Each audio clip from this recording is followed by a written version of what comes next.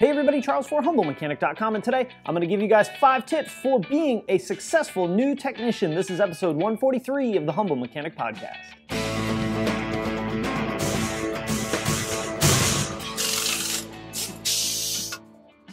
All right, so I get asked all the time, Charles, what does it take to be a successful technician? I'm coming out of school, I'm getting out of school, I'm still in school, and I'm petrified about getting a job at the dealership, at an independent shop, whatever. So it's a question I've answered a lot of times. So I thought I'd, you know what, put some of these tips into all one video. That way you guys have it all in one compact spot. So I'm gonna be giving you guys five things that you can do to be a better new technician. Hey, this might even apply to being a better old technician. And remember that these are not the only five things you need to do. These are just five of the top things you need to do. There's a ton of things, ton, that it takes to be a successful technician. And as a new technician, sometimes it'll just take you some time to learn. So let's get right into it. Number one is knowing your role. Look, let's be honest.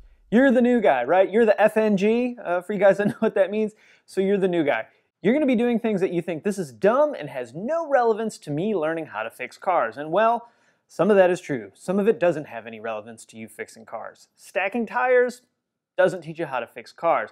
But these are important things because these are things that need to get done in the shop a lot of times the new guy is the hourly guy. So some of those tasks will go to the new guy. It's great when you're on flat rate because then you don't have to do it and basically not get paid for it.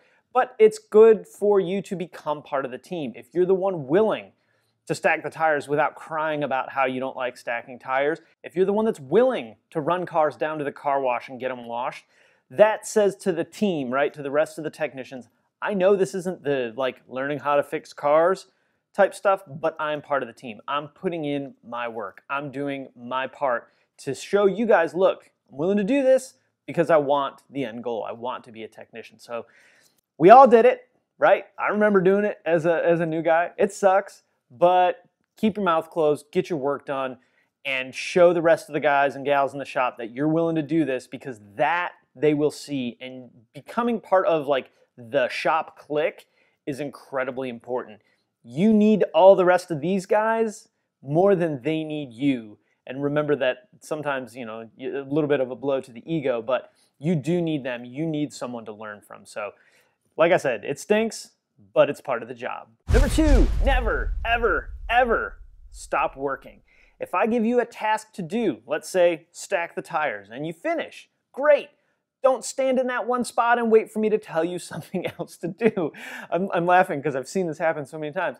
Find something else to do. Come find me and we'll figure out something else to do. But don't just stand there like a zombie and wait. Wait for someone to tell you what else to do. Look around the shop and see what people are doing. See what tasks need to get done, right? Does the trash need to be taken out? Does a car need to be ran through the car wash? We just talked about that last example of of doing all those little things that you are doing as the new guy. It doesn't really matter. Just always keep working. Because when I see you standing around, to me, that just says I am either too lazy to think something to do or I really don't care. And both of those are two examples, two mindsets that you don't want the rest of the shop to think that you're in. Because if you're not willing to put in the effort to help them, a lot of times they're not going to be willing to put in the effort to help you. All right, number three, try it first. This goes for anything that, if you try it and mess it up, will not cause the shop to be in a bad spot. So what I mean by try it first is, let's say I tell you, hey, new technician, go set the clock on that car. And you say, I don't know how to do that. And I say, okay, well, why don't you try? And then you tell me, I don't know how to do that. Go freaking try to set the clock. The worst thing that's going to happen is you're going to reset the customer's trip meter and while that may be a hassle, it's really not that big of a deal. So just try it. If you mess it up, it's okay. Look, you're gonna make mistakes anyway. As a new technician, as an old technician, everywhere in between, mistakes are gonna get made. If not getting the clock set right is the worst thing that happens throughout the day, that is a good dang day. Give it a try. You're never gonna be able to figure out the answers to the questions that you don't know if you don't just try it. Sometimes it's gonna work out poorly and you're gonna screw stuff up. Most of the time, even if it doesn't work out perfect, you're gonna at least learn how to do it. So just give it a try. If you're not willing to try at all, you're gonna have a hard time in a shop because technicians are gonna see that instantly. He's too lazy to try. She's too lazy to try. she doesn't care enough to even try how to set the clock. Just give it a shot. If you screw it up, ask how to do it. Open the owner's book. All the answers to most of the situations that we run into, the information is somewhere. Owner's book, repair manual, other technicians. It's all out there. But you got to go get it. Don't expect someone to grab you by the hand and put you in the car and say, okay, Mr. Technician, here's how you set the clock. We save that for customers. Customers get that kind of treatment. You don't. You have to figure it out on your own.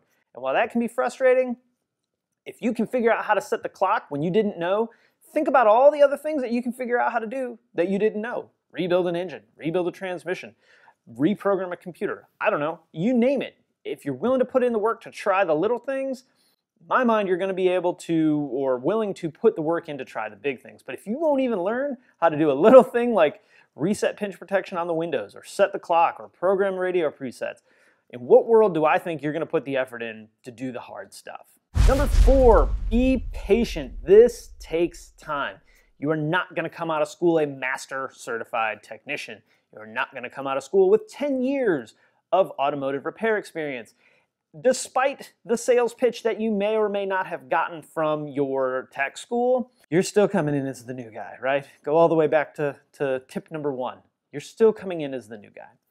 This takes time. Learning takes time. It took me about a year to 18 months before I felt comfortable coming in every day. I wasn't worried, oh God, what job am I going to get now? Am I going to be able to figure it out? I didn't know what job I was going to get, but I knew. I knew I'd be able to figure it out because I tried and I didn't stop working and I was patient, right? So understand that this takes time. You are not going to come out of tech school and be the fastest tech in the shop. If you are, you're probably doing a hack job, so that would raise a red flag for me. The big thing for you is do your work correctly. Take your time, do it 100% correctly first. Then worry about speed. Speed comes. Speed comes with repetition. Speed comes with analyzing how you're working and fine tuning it. Speed comes with not standing at the parts department for 15 minutes waiting on someone that's not there. Speed comes with going to work, doing what you can do, and then walking by and hopefully the parts department is available at that point in time. Dealing with parts is a whole other separate issue, we'll save for another day. But if this is on you, right? This is about you. You have to be patient. You have to understand this is going to take time.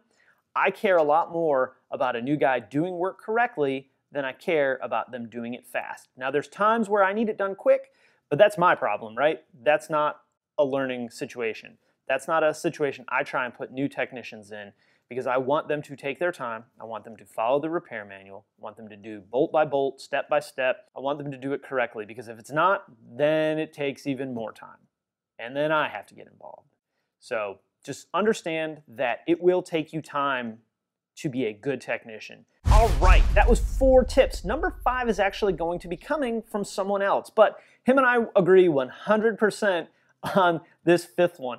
This is going to be coming from Todd Gordon, who's Joey Logano's crew chief, so professional race team crew chief. And I asked him, what does it take for a new technician to become part of your team, to get on a race team like yours, you know, at the highest, highest level?